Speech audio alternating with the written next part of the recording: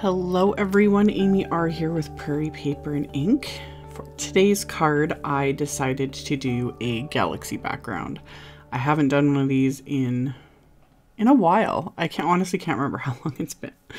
But I was going through the new Honeybee release and this Good Friends little mini stamp set jumped out at me and the first thing I thought of when I looked at it, I was like, I need to do a galaxy background.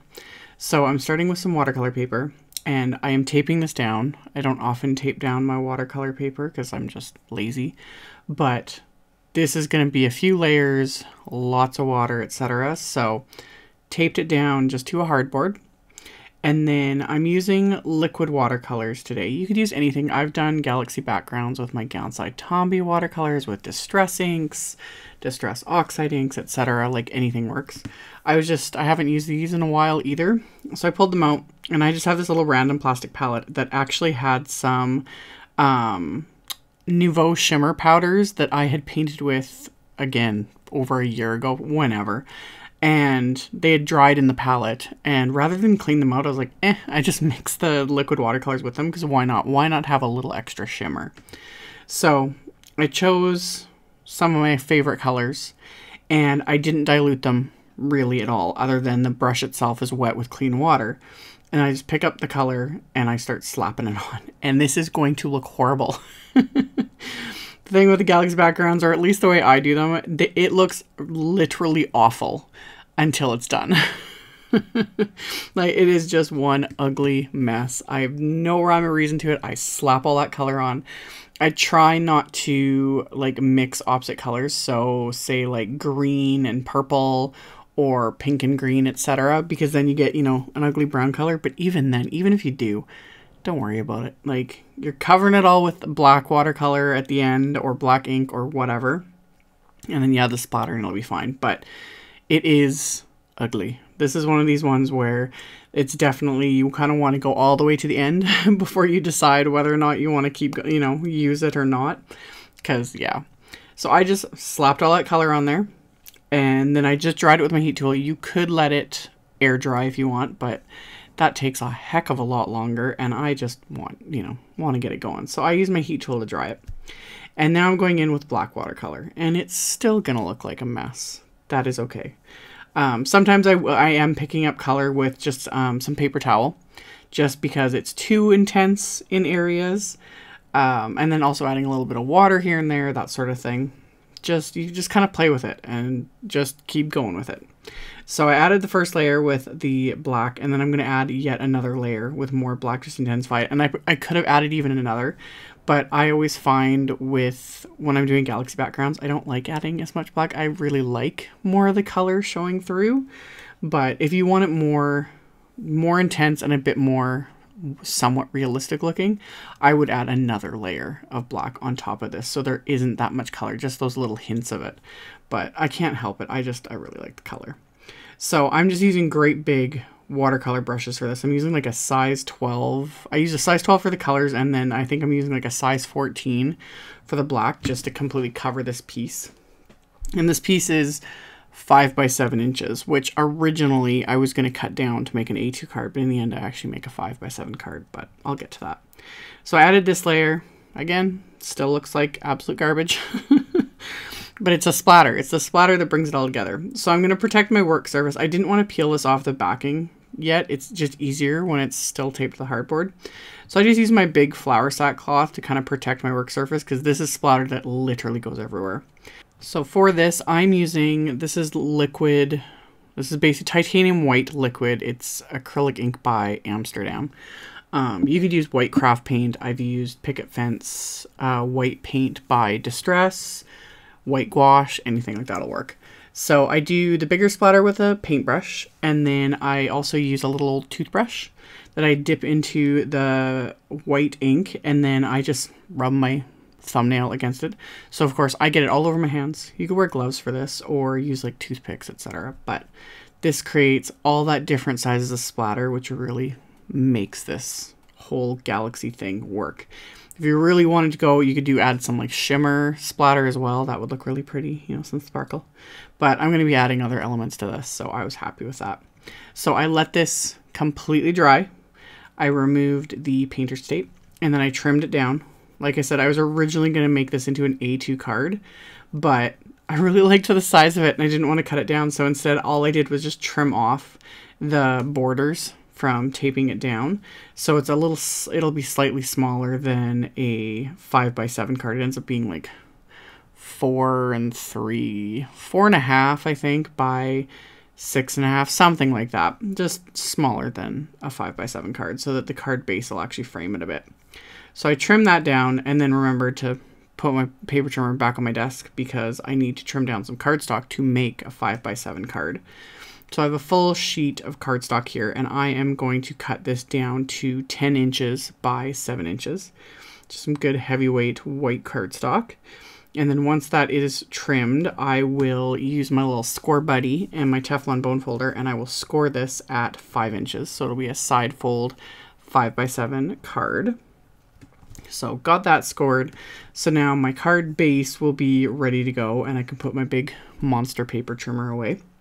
So got that ready to go. And then for the actual card front, um, I pulled out the Friend stamp set and Friend wafer die honey cuts, as well as the A7 thin frames wafer dies.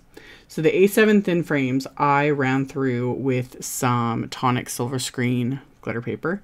These wafer dies cut, as you can see, like an entire piece of frames. So all those extras, I'm just going to put right back in the packaging. So the next time I pull out this wafer die, I've got all these frames just ready to go. So set those aside. I picked out the one I wanted. And then the Friend wafer dies I die cut from the same silver glitter paper and then some white cardstock and some vellum.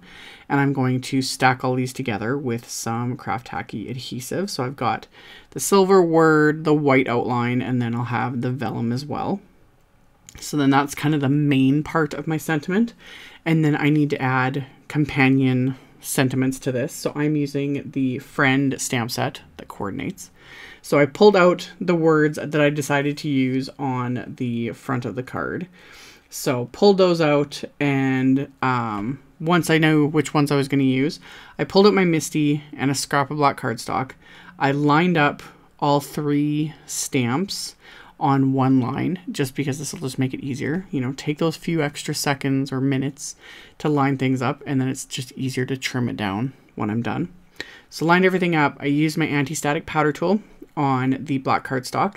And then I inked up the stamps with clear embossing ink, stamped it onto that black cardstock, coated it with detail white embossing powder, and then melted it with my heat tool, making sure to tilt it in the light to make sure I actually melted all the embossing powder. And then once that's melted, I can then trim these down, starting with one long strip, and then I'm going to separate them into the way they were as stamps, just because also I want, that's how I wanted to place it on the card. So trim those down with my little guillotine paper trimmer because that's the one that just fits better in my workspace. because I don't have enough space for the big one, I literally have to keep it underneath my desk.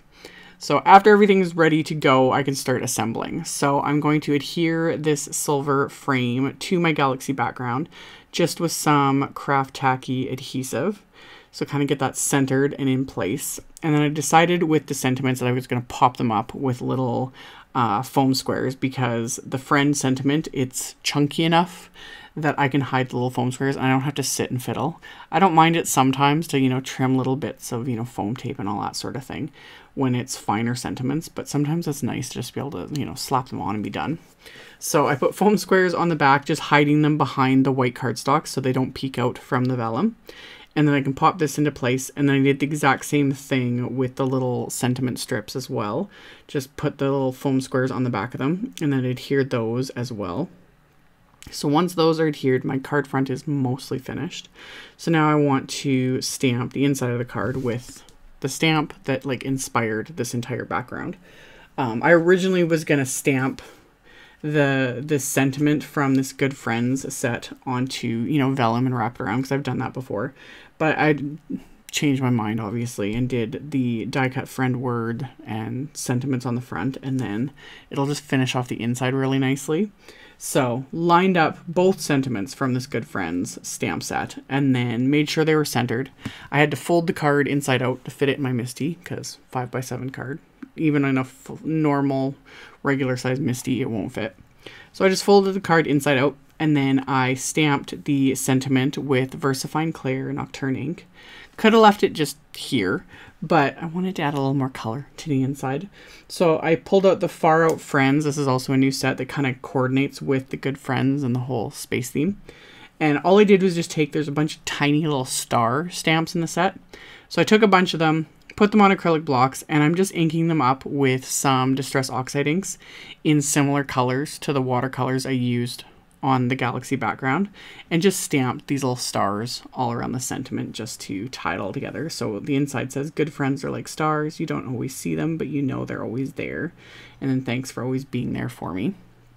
So after that was completely finished, stamped, dried, I'm going to adhere the card front panel with foam tape. Go big or go home. you know, that was my motto with this card. It's like, I'm doing a 5x7 card, which I almost never do. Let's just make it as dimensional and bulky as possible because it's just fun and bling and, you know, galaxy background and all that stuff. So, adhered that with foam tape. And then as a final little bit of embellishment, I had some um, star crystal, like iridescent star embellishments, as well as some silver crystals in my stash. So I just kind of adhered those on the background as well, just for that extra bling. So I adhered those into place with the Craft Tacky adhesive and just my little embellishment wand. And then once the glue is dried, this card is complete. So I did try, to like I turned the flashlight on on my phone to try and show the shimmer in the background the watercolors had picked up with that shimmer powder. It's subtle, but it's there. So I've got the like silver glitter paper, there's a bit of shimmer in the background, the embellishments, like just a blingy, fun card.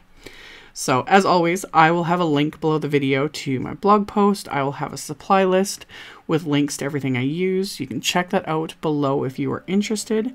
Thank you all so much for watching, for commenting, thumbs upping, subscribing, all of it. I really appreciate the support. And I will see you all very soon in the next video. Bye!